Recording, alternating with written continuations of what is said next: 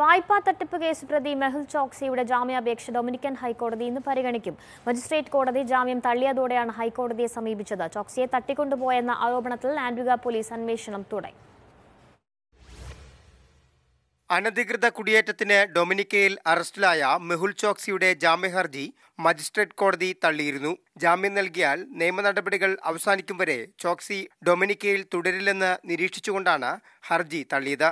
ആന്റിഗുയിൽ നിന്ന് ബലം പ്രയോഗിച്ച് തട്ടിക്കൊണ്ടുപോയെന്നാണ് ചോക്സിയുടെ ആരോപണം. നാടുകടത്തൽ കേസ് നേരിടുന്ന ഇയാളുടെ ആരോഗ്യസ്ഥിതി മോശമാണെന്നും ആന്റിഗുയിൽ നിന്ന് ഡൊമിനിക്കിലേക്ക് വരേണ്ട സാഹചര്യമില്ലെന്നും ഹർജിയിൽ ബോധിപ്പിച്ചിട്ടുണ്ട്. ചോക്സിയെ ഇന്ത്യയ്ക്ക് കൈമാറണമെന്ന ഡൊമിനിക്കൻ സർക്കാരിന്റെ അപേക്ഷ കോടതി ഈ മാസം പതിനാലിന് പരിഗണിക്കും. തട്ടിക്കൊണ്ടുപോയെന്ന പരാതിയിൽ ആന്റിഗ്വ സർക്കാർ അന്വേഷണം ആരംഭിച്ചു. ചില ഉദ്യോഗസ്ഥർ തട്ടിക്കൊണ്ടുപോകാൻ കൂട്ടുനിന്നുവെന്നും പരാതിയിൽ പറയുന്നു. എന്നാൽ പരാതി വിശ്വസിക്കുന്നില്ലെന്ന നിലപാടിലാണ് പ്രധാനമന്ത്രി Gaston Brown. Mathrubhumi news Delhi.